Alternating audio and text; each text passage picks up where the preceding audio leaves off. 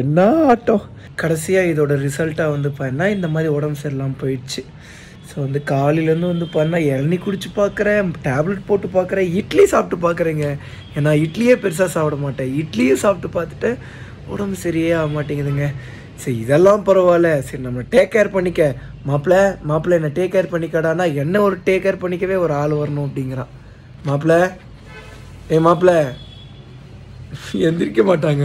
அதுக்கப்புறம் வந்து பார்த்தீங்கன்னா காலையில் நம்ம டிடிஎஃப் வந்திருந்தாங்கங்க ரூமுக்கு பட் எனக்கு உடம்பு சரியில்லையா?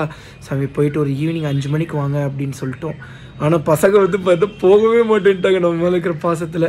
ஸோ வந்து சாயந்தரம் வரைக்கும் இருக்கேன்னு சொன்னாங்களா? சாயந்தரம் வரைக்கும் எப்படி வெயிட் பண்ண முடியும் அப்படின்னு சொல்லிட்டு நான் போய் நம்ம டிடிஎஃப் மீட் பண்ணிட்டு வந்துட்டேன். அவங்களுக்கே புரிஞ்சது ரொம்ப உடம்பு சரியில்லை ப்ரோ உனக்கு அப்படின்னு சொன்னாங்க. ஸோ வந்து இதோ இது கிஃப்டாக கொடுத்தாங்கங்க.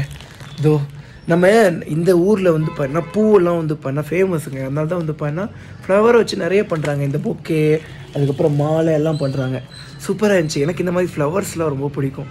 அந்த ஸ்மெல்ஸ்லாம் பட் என்னென்னு தெரியலங்க இந்த ஃப்ளவர்ஸ்லேருந்து பெருசாக ஸ்மெல் வர மாட்டேங்குது. அந்த மாலையிலேருந்து வேணால் பயங்கரமாக செல் இருந்துச்சு நம்மளோட அருண் அதுக்கப்புறம் நம்மளோட மாசி அதுக்கப்புறம் வந்து பார்த்தீங்கன்னா நம்ம விஷ்ணு மூணு பேர் கார் எடுத்துகிட்டு சொயின்னு கிளம்பிட்டாங்க தமிழ்நாட்டுக்கு. இப்போதைக்கு நானும் அஜிஸும் மட்டும்தான் இருக்கோம். அண்ட் வந்து பார்த்தீங்கன்னா எனக்கு உடம்பு சரியில்லைங்க. அதனால் என்னை பார்த்துக்க என் ஃப்ரெண்டு வந்தாங்க. அப்புறம் வந்துட்டு பார்த்துட்டு அப்புறம் டேப்லெட்ஸ்லாம் வாங்கி அவங்க தான் வாங்கி கொடுத்தாங்க டேப்லெட்ஸு இந்த இளநீலாம் வாங்கி கொடுத்துட்டு அவங்க கிளம்பிட்டாங்க. ஏன்னா அவங்களுக்கு பிஸ்னஸ் இருக்குது அப்படின்னு சொல்லிட்டு போயிட்டாங்க. ஓகே டிடிஎஃப் ஸோ வந்து நம்ம சேனலுக்கு யாராவது புதுசாக வந்திருந்தீங்கன்னா மறக்காமல் சப்ஸ்கிரைப் பண்ணி பெல் ஐக்கான் தட்டிட்டுக்கோங்க